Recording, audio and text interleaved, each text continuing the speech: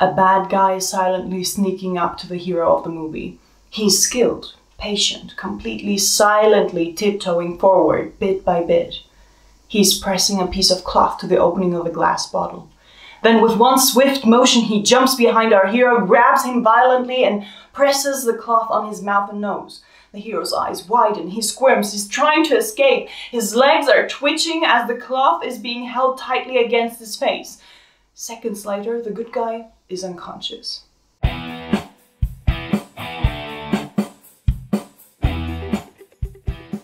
The substance pressed against our hero's face is obviously chloroform. But does chloroform actually work like that? Or let's start at the beginning. What even is this chloroform stuff? Let's look into the science Hollywood is disregarding here. Chloroform is nowadays used in building, paper and board industries and in pesticide and obviously, since that's how most of us know it, in Hollywood.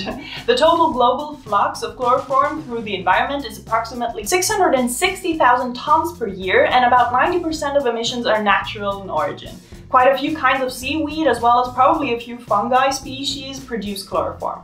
Now, obviously, most of us know chloroform as this magic ingredient that movie villains use to instantly knock out their victim. And there's a bit of truth in that, but of course, it's never as dramatic as in the pictures. Chloroform is not an efficient sedative, and its efficiency depends on factors like body weight, air circulation, and the strength of the solution. Small amounts of chloroform can induce lethargy and disorientation. Increased exposure leads to unconsciousness and an inability to feel pain. These are cool and sometimes useful parts, as we'll see in a moment. But prolonged exposure can cause difficulty in breathing, then paralysis, followed by death. From the moment of unconsciousness, there is generally a 10 to 15 minute window where a patient is asleep, and once they start regaining consciousness, there will be a disorientation that can last up to 30 minutes and a severe headache lasting hours. Now, the useful part of it all, the induced unconsciousness and the not feeling pain part are great and needed in medicine, so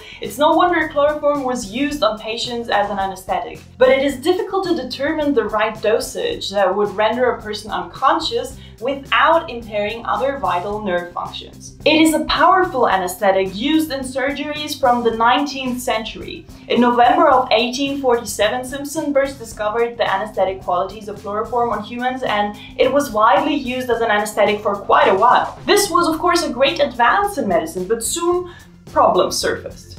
Following chloroform-induced anesthesia, some patients suffered nausea, vomiting, hyperthermia, and coma due to hepatic dysfunction. At autopsy, liver necrosis and degeneration have been observed. It took until 1911 to prove in experiments with animals that chloroform can cause cardiac fibrillation, respiratory failure, and cancer. It was quickly abandoned in favor of ether upon discovery of its toxicity. Now, that's all good and such, but how did Hollywood come up with the use as a knockout drug that has to be used in every other movie. And how are they misinformed, or at least misinforming their viewers on the effect that chloroform has on a person? Well, it's not all wrong.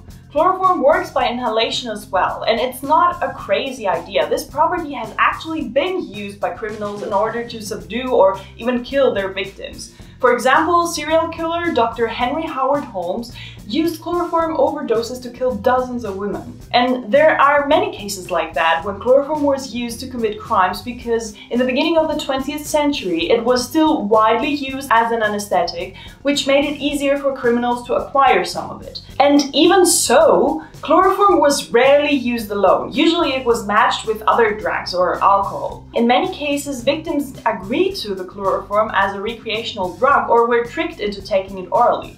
It is easy to overdose on chloroform, but some people die from simply swallowing their tongues and suffocating. Now, Hollywood creators were quick to start this era of dumb cloths over people's faces, but of course chloroform simply doesn't work like that.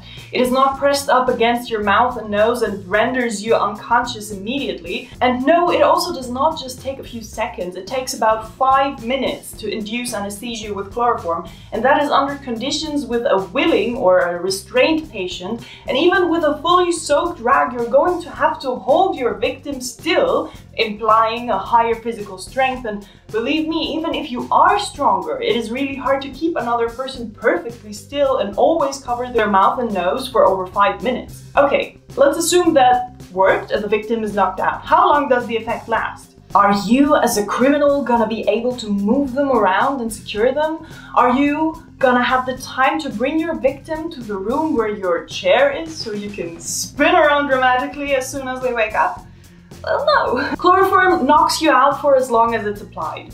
This could be for 20 minutes or 2 hours with a 20 to 30 minute recovery time during which will be an intense shivering, severe nausea and more than likely vomiting and an hour long lasting headache. So not really useful because you have to keep applying it and then they will be too sick to answer any of the questions or cleverly escape and then gift the viewer with the most well choreographed fight scene ever. So it's really not like we see it in the movies. What would be more realistic? Well, choking works pretty fast, and then for them to stay that way, the villain has to inject them with some ketamine, which makes the victim unconscious for a few minutes longer. Just saying, you don't need to sell lies, Hollywood.